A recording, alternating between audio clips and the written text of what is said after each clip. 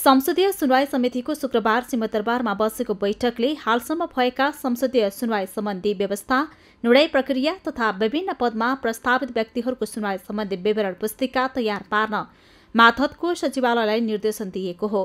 समितिको काम प्रभावकारी बनाउने गरी त्यस सम्बन्धी विगतका कामहरूको विवरण सहितको पुस्तिका तयार गर्न सचिवालयलाई निर्देशन दिएको सभापति लक्ष्मण लाल जानकारी दिए।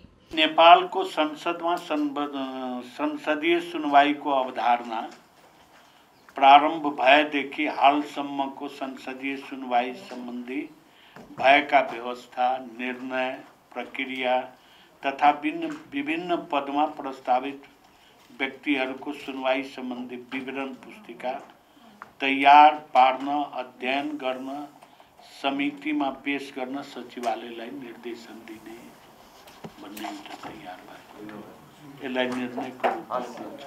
सभापति कणले संसदीय सुनवाई समितिको कामलाई प्रभावकारी बनाउन संघीय संसद ऐन नै परिमार्जन गरेर अघि बढ्नुपर्ने बताए।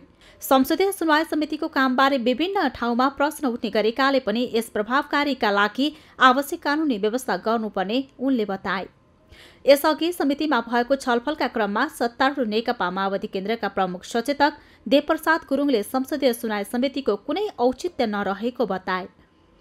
उनले संविधानले परिकल्पना गरे अनुसार काम गर्न नसकेको उल्लेख गर्दै समितिलाई प्रभावकारी बनाउने हो भने संघीय संसद ऐनलाई संशोधन गरेर अघि बढ्नुको विकल्प नरहेको तर्क गरे।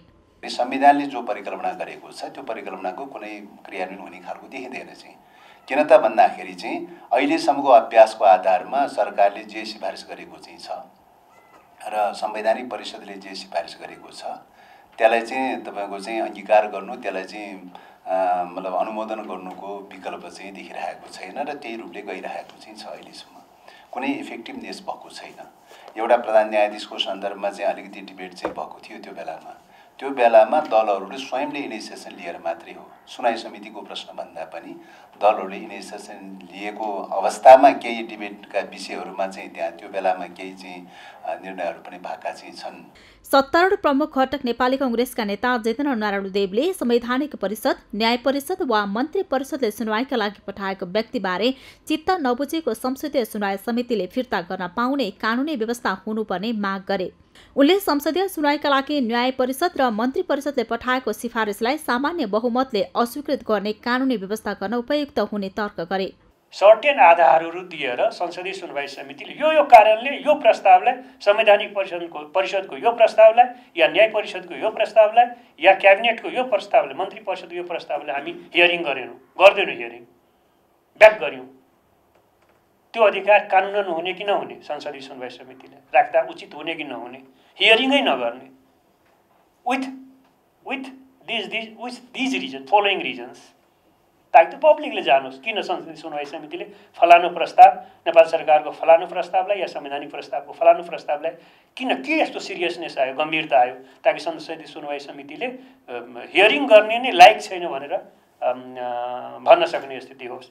बैठकमा नेपाल कानून आयोगकी सचिव लीलादेवी गर्तौला निरौलाले संसदीय सुनवाईका लागि सिफारिस गरेका व्यक्तिहरूबारे सम्बन्धित निकायमा सोधपुछ गरेर संसदीय सुनवाई गर्ने व्यवस्था पनि प्रस्तावित विधेयकमा समावेश गरिएको जानकारी दिइन्। उनले सो विधेयकबारे संसदीय सुनवाई समितिमा घनीभूत छलफल गरेर अघि बढ्ने पनि बताइन्। हामी कार्यान्वयन योजना पेस गर भन्छौँ। जस्तो कुनै प- जुन पदमा जानुहुन्छ तपाईँ के गर्नुहुन्छ त? त्यो पाँच वर्ष छ वर्षमा के गर्नुहुन्छ? भनेर चाहिँ कार्ययोजना पेस गर्नु भन्छौँ। हामी योग्यता सोग्यता विवरण सबै माग्छौँ। हामी इन्टर्नल अथवा कोही कमिटीबाट उसको ओभरसाइट हेर्छौँ पनि छुट्टै गोप्य छलफल गरेर अनि मात्रै लास्टमा उसलाई सुनाइ गर्न बोलाउने हो। अगाडि नै छलफल गरेर यो समिति चाहिँ एकदम क्लियर भएर यो यस्तो छ है यसको चाहिँ। अब यसका जस्तो अझ हामीले त कति भन्न पनि सकेनौँ।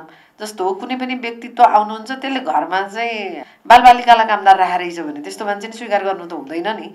सचिव गर्तौलाले दलहरूले आफ्ना सांसदहरूलाई हुइप लगाउने नलगाउने भन्ने व्यवस्थाका बारेमा पनि अन्तर्राष्ट्रिय अनुभवको अध्ययन भइरहेको बताइन्।